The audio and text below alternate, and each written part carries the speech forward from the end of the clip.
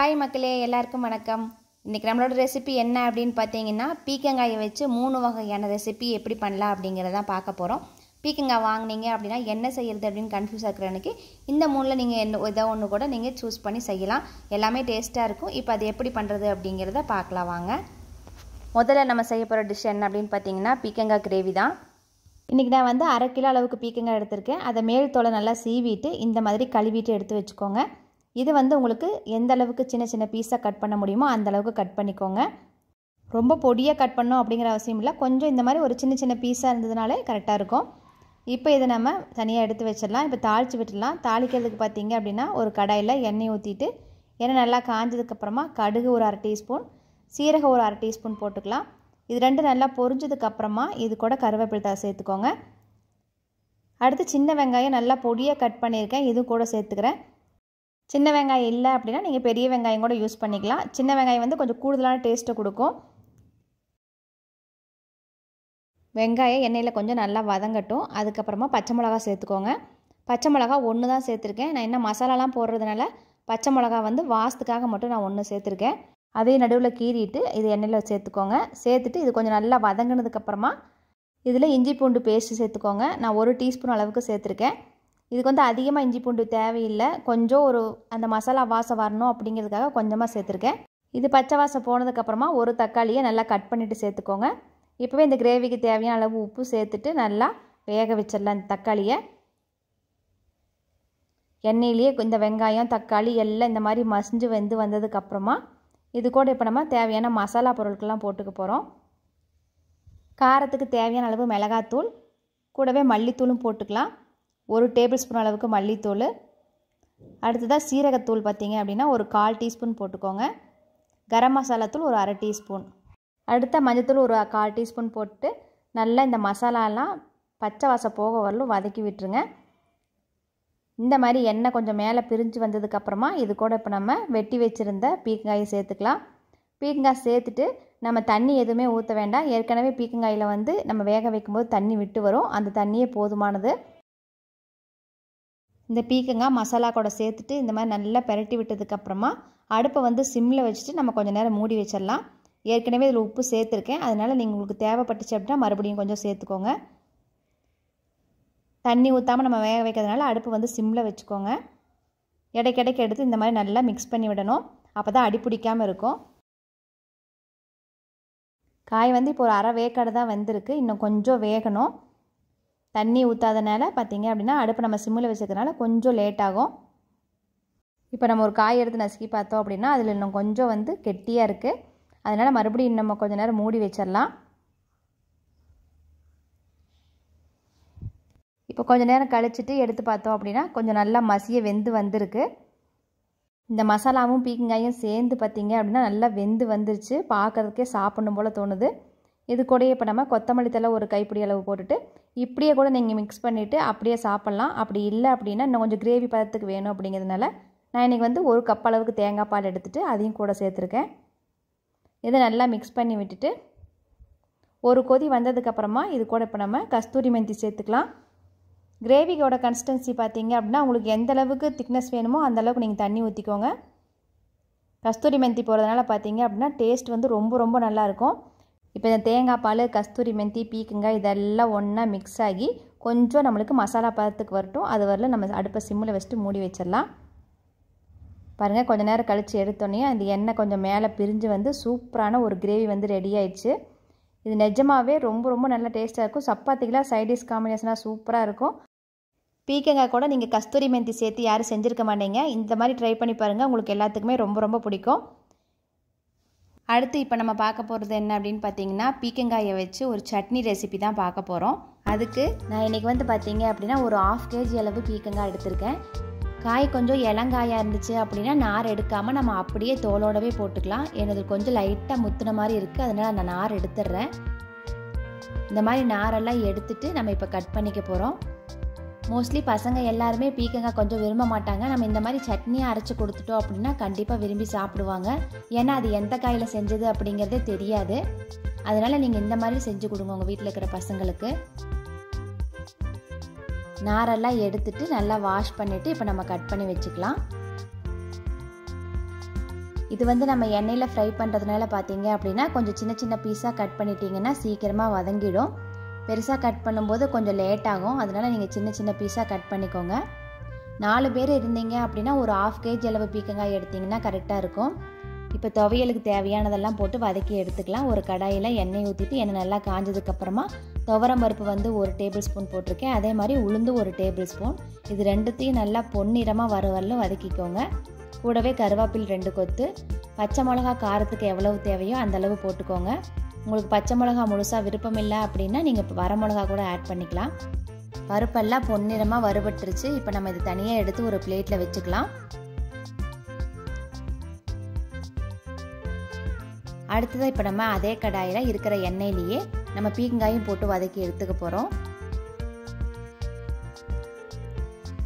பீக்கங்காய் பார்க்கறதுக்கு நிறைய இருக்கிற மாதிரி தான் இருக்கும். ஆனால் வதங்குச்சு அப்படின்னா ரொம்ப கம்மியாயிடும். இந்த பீக்கங்காயை இப்போ நம்ம எண்ணெயில் மட்டும்தான் வதக்க போகிறோம் தண்ணி ஒரு துளி கூட ஊற்றக்கூடாது ஏற்கனவே வந்து பீக்கங்காயில் இருக்கிற தண்ணியிலேயே அது கொஞ்சம் நல்லா வதங்கி வந்துடும் இப்போ இந்த சட்னிக்கு தேவையான அளவு உப்பு சேர்த்துட்டு கூடவே வந்து பார்த்தீங்க அப்படின்னா புளியும் போட்டுக்கலாம். காய் கூட சேர்த்து புளியும் நல்லா வேக வச்சுக்கோங்க.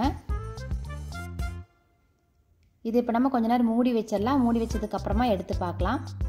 மூடி வச்சுட்டு வச்சிங்க அப்படின்னா ஒரு ஆவியில் நல்லா வெந்து வந்துடும் காயெல்லாம் சுணங்கி இப்போ ஒரு அரை வேக்கடலை வெந்திருக்கு. இன்னும் கொஞ்சம் வதங்குச்சு அப்படின்னா போதும். மறுபடியும் கொஞ்சம் நேரம் மூடி வச்சிடலாம். இப்போ பாருங்கள் கொஞ்சம் நல்லா கலர் மாறி வதங்கி வந்துருச்சு. தண்ணி நம்ம ஒரு பொட்டு கூட சேர்க்கவே இல்லை ஆனால் காய் நல்லா வெந்து வந்துருச்சு.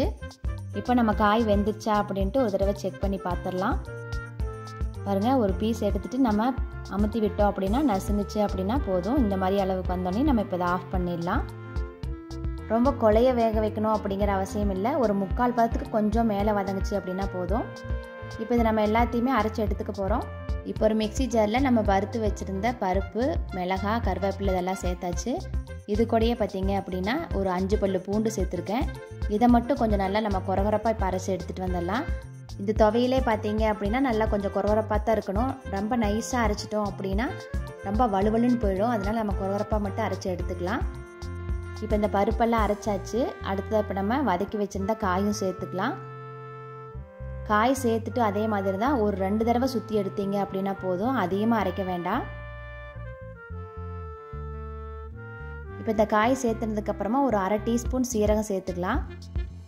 அடுத்து இது கூட தேவையான அளவு உப்பு சேர்த்துக்கோங்க. ஏற்கனவே காய் வதக்கும் போது உப்பு சேர்த்ததுனால பார்த்துட்டு அளவாக சேர்த்துக்கோங்க. அடுத்ததான் ரெண்டு டேபிள் ஸ்பூன் அளவு மட்டும் தண்ணி சேர்த்துட்டு குறகுறப்பாக அரைச்சி எடுத்துக்கலாம். பாருங்கள் இந்த மாதிரி கெட்டியான பதத்தில் அரைச்சி வச்சுக்கோங்க. அதிகமாக தண்ணி சேர்த்திங்க அப்படின்னா துவையல் ரொம்ப வலுவல்னு போயிடும். அது மட்டும் இல்லாமல் நம்ம குறகுறப்பாக அரைச்சிருக்கிறதுனால தண்ணி தனியாகவும் துவையல் தனியாகவும் இருக்கிற மாதிரி இருக்கும். அதனால் கெட்டியான பதத்துக்கு அரைச்சி எடுத்துக்கோங்க. இப்போ இதை நம்ம தாளித்து விட்டலாம். தாளிக்கிறதுக்கு ஒரு கடாயில் எண்ணெய் ஊற்றிட்டு எண்ணெய் நல்லா காஞ்சதுக்கப்புறமா கடுகு உளுந்தம்பருப்பு பச்சைக்கடல பருப்பு அடுத்ததாக கருவேப்பில்லை கூடவே வந்து நசுக்கி வச்சுக்கிற பூண்டு ஒரு அஞ்சு பல் பூண்டை வந்து நான் அரைக்கிறதுக்கு சேர்த்துருந்தேன். இதில் வந்து ஒரு அஞ்சு பல் பூண்டை நசுக்கி சேர்த்துருக்கேன். தாளிப்புக்கு வாசத்துக்காக ரெண்டு வரமிளகாய் போட்டுக்கோங்க. பூண்டோட பச்சை வாசம் போனதுக்கப்புறமா நம்ம இந்த அரைச்சி வச்சுருந்த துவையில் சேர்த்துக்கலாம். எண்ணெயில் பூண்டு நசுக்கிட்டு சேர்த்ததுனால பார்த்தீங்க அப்படின்னா நல்லா கமகமனு வாசனையாக இருக்குது துவையிலும் பார்த்தீங்க அப்படின்னா ரொம்ப ரொம்ப டேஸ்ட்டாக இருக்கும். முக்கியமாக இந்த துவையலுக்கு பார்த்தீங்க அப்படின்னா நம்ம குறகுறப்பாக தான் அரைச்சி எடுக்கணும். வலுவல்னு அரைச்சி எடுத்துடாதீங்க இந்த மாதிரி குறகுறப்பாக அரைச்சி எடுத்திங்கன்னா தான் டேஸ்ட் வந்து நல்லாயிருக்கும் இப்போ இது நல்லா மிக்ஸ் பண்ணியாச்சு. இப்போ நம்ம ஒரு பவுலுக்கு மாற்றிடலாம் இந்த துவையல் பார்த்தீங்கன்னா நம்ம ட்ராவலுக்கு கூட எடுத்துகிட்டு போகலாம் ரொம்ப ரொம்ப நல்லாயிருக்கும் கலவை சாப்பாட்டு கூடயும் சூப்பரான டேஸ்ட்டாக இருக்கும். அடுத்ததாக நம்ம பீக்கங்காய் தோலை வச்சு ஒரு சட்னி ரெசிபி எப்படி பண்ணுறதுங்கிறத பார்க்கலாம். ஃபஸ்ட்டு பார்த்தீங்க அப்படின்னா பீக்கங்காயில் இருக்கிற மேல் தோலை எல்லாம் சீவிட்டு நீங்கள் தனியாக எடுத்துக்கோங்க. காய் தனியாக நம்ம என்ன வேணாலும் டிஷ் பண்ணிக்கலாம். இப்போ இந்த பீக்கங்காய் தோலை நம்ம வதக்கி எடுத்துக்க போகிறோம் வதக்கிறதுக்காக ஒரு கடாயில் எண்ணெய் ஊற்றிட்டு எண்ணெய் காஞ்சதுக்கப்புறமா இந்த தோலை போட்டுட்டு நல்லா வதக்கி எடுத்துக்கலாம். வதக்கும்போது அடுப்பை வந்து சிம்மில் வச்சுட்டு வதக்கிக்கோங்க. ரொம்ப ஹையாக வச்சோம் அப்படின்னா தோல் வந்து ரொம்ப கருகிடும். அது மட்டும் இல்லாமல் கலரும் வந்து மாறாமல் நம்மளுக்கு தோலும் வந்து நல்லா வதங்கி வந்துடும் அதுக்காக அடுப்பை வந்து சிம்மில் வச்சே வதக்கிக்கோங்க.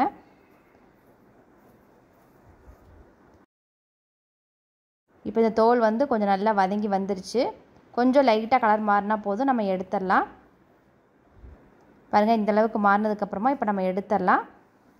எடுத்துகிட்டு அதே கடாயில் நம்ம தேவையான பொருள்லாம் போட்டு வதக்கி எடுத்துக்க போகிறோம் மறுபடியும் கொஞ்சம் எண்ணெய் சேர்த்துட்டு பச்சை கடலைப்பருப்பு ஒரு டேபிள் ஸ்பூன் உளுந்தம்பருப்பு ஒரு டேபிள் ஸ்பூன் கூடவே காரத்துக்கு தேவையான அளவு மிளகா. அடுத்து சீரகம் வந்து ஒரு அரை டீஸ்பூன் போட்டுக்கோங்க. இது எல்லாம் சேர்த்துட்டு நல்லா வதக்கி எடுத்துக்கலாம். பருப்பு வறுபட்டு கலர் மாறினதுக்கப்புறமா பூண்டு சேர்த்துக்கலாம். பூண்டு ஒரு பத்து பல் பூண்டு சேர்த்துக்கோங்க.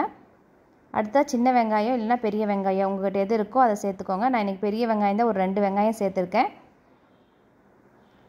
இதை சேர்த்துட்டு நல்லா எண்ணெயில் வதங்கினதுக்கப்புறமா இது கூட இப்போ நம்ம கருவேப்பிலை தலையும் கொத்தமல்லி தலையும் சேர்க்க போகிறோம் இன்னொரு பொருள் எக்ஸ்ட்ரா சேர்த்து செய்கிறேன்னு சொன்னது பார்த்தீங்க அப்படின்னா கொத்தமல்லி தலை தான்.